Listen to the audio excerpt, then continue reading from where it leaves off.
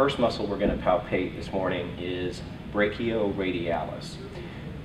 Remember that anytime you see a prefix or a suffix that says brachio or brachialis or brachii, you're talking about an attachment somewhere on the upper arm, on the humerus.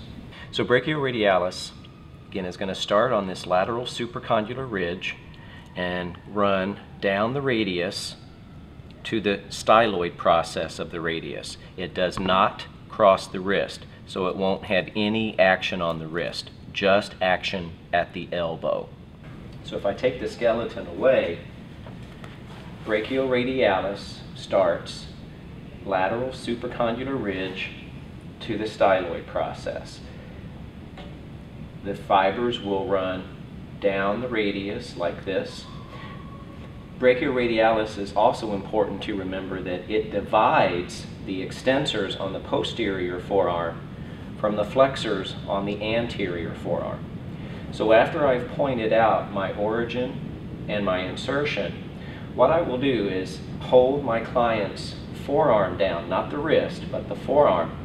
Have the client flex at their elbow and you'll notice that the muscle will pop up right here.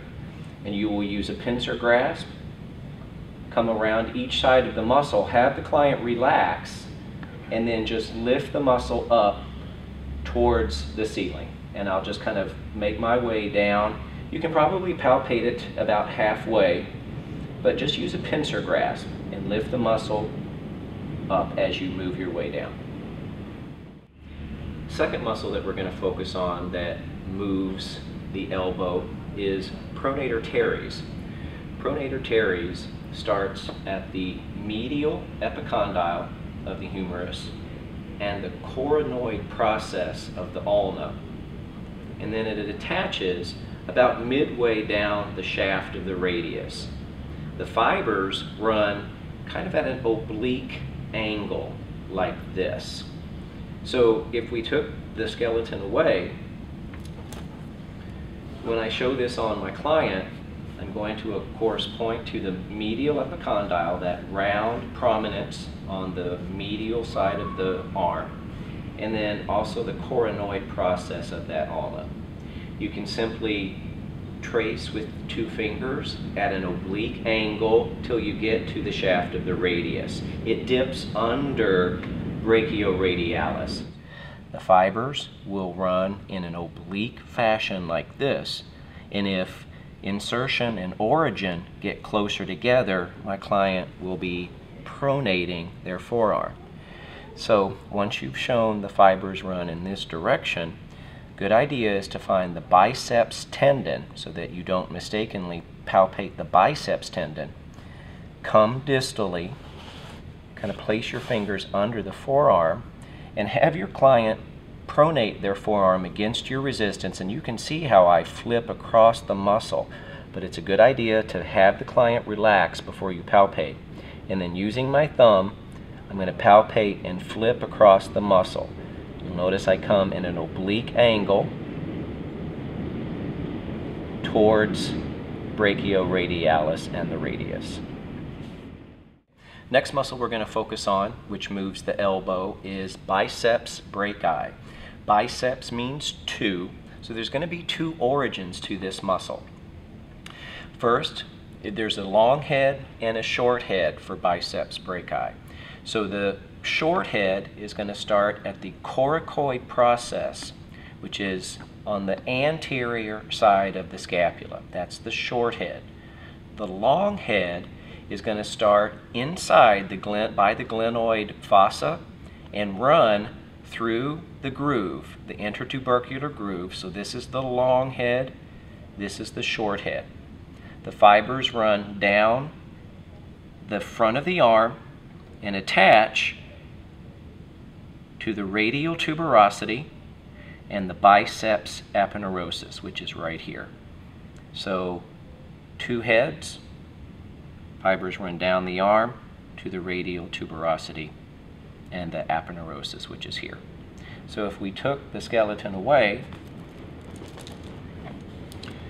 for you to show this, you're going to point to the coracoid process. Remember, it's about right here at the axilla at the armpit, but below the clavicle.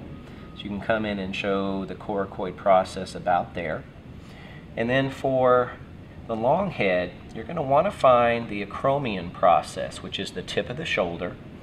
Slide down and find that flip, which is the long head. So that's the groove right there. So you can basically show the two origins and then with your second hand come down to the radial tuberosity here.